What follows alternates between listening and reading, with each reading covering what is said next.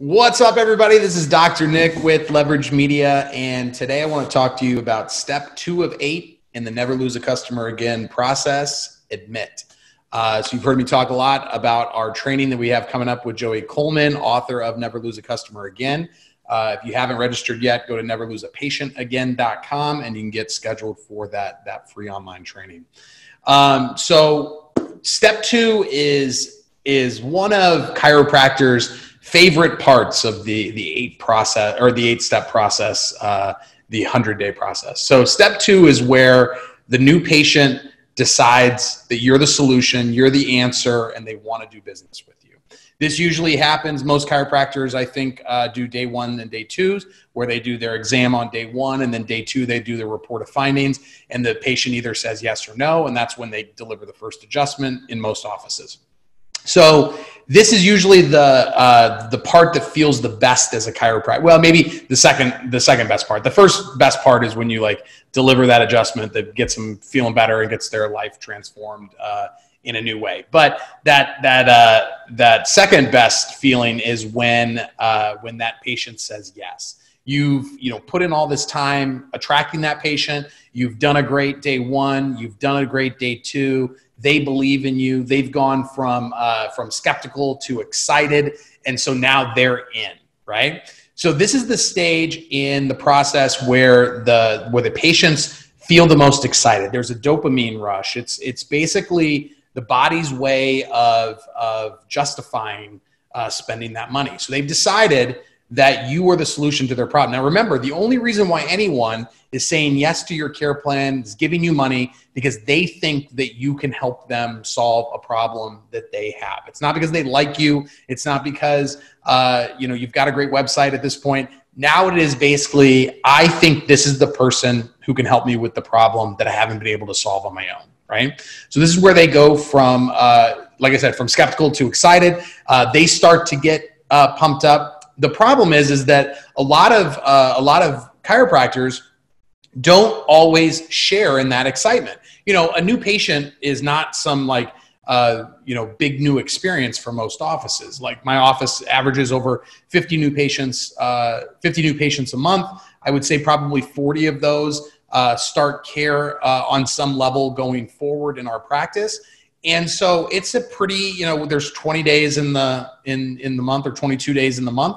Um, so you know about two people per day start care in our practice. So it's not like it's a it's a unique experience for us. Now for them might be the first time they've ever been to a chiropractor before. It might be the first time that they felt hope about solving that problem that's been giving them trouble for 10 15 years. As chiropractors we have to make sure that we're matching that excitement with them and even if you do get excited, maybe you only get five new patients a month and only one of them starts. And so that one really is exciting, right? But sometimes the excitement can be shared behind the scenes, it can be shared with the team. And when that happens, the patient starts to feel like, well, maybe I maybe I'm not is not that special. You know, because the day one and day two, they they feel they feel very taken care of. They feel very important. There's usually a lot of pomp and circumstance around that day one and day two. It's very different than a normal uh, visit. So matching their excitement and matching their enthusiasm, because remember they've they've made a decision that they're trusting their health in your hands. It's so important that you really uh, meet them where they're at. And so you have to think about what is the because the next the next step is the buyer's remorse. And we'll get more into that in, uh, in step three. So, what is it that you can do in this step to allow your patients to feel great about that decision beyond just the dopamine rush? I'm sure, I'm sure most of you have had this experience where um, someone comes in, they go through the day one, day two process. They're so pumped to get started. They sign up right away. They're ready to get going. Maybe they get their first adjustment. They go home and tell their spouse right? And usually it's the the wife going home and telling the husband. And if the husband wasn't involved in that day one day two process and didn't understand the value that was being built they can be like you spent how much? On what? And that's where things can start to fall apart. So you know including any other decision makers in in this process is always an important part. Uh, but really being a partner in this admit process uh, will pay dividends in a big way um, as we go through uh, the rest of the stages. So, uh, so be sure that that we're we're um, you know everybody wants to be to be part of a tribe. So everyone wants to feel like they found their place. So the, uh, the the most important part is that you make them feel um, like they've made the right decision. You you make them feel like they are they're in the right place uh, for that problem. And now they're going to be a part of a tribe or they're going to be part of a family.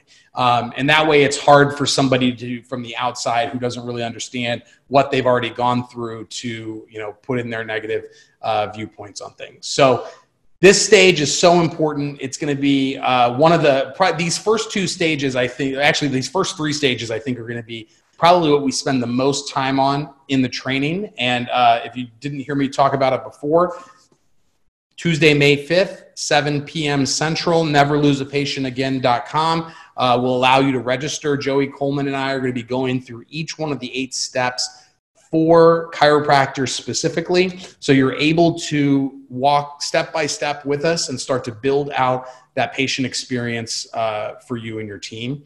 Um, and what a good time to be able to uh, to execute this uh, because we have the time. We have the gift of time. Like even the practices that are that are open and doing pretty well are still still down 20, 30, 40%. Some are down way more, some are closed. So you've got lots of time to be able to work on these types of things. And I've been telling people since the beginning, like now is the time to be working on these long term projects, whether it's your patient experience, whether it's your website, whether it's your Google My Business listing. Do things that you can invest some time now that are going to pay a ton of dividends in the future. So we'll see you on the training Tuesday, May 5th, 7 p.m. Central, and we'll see you on the, uh, the next step in the process.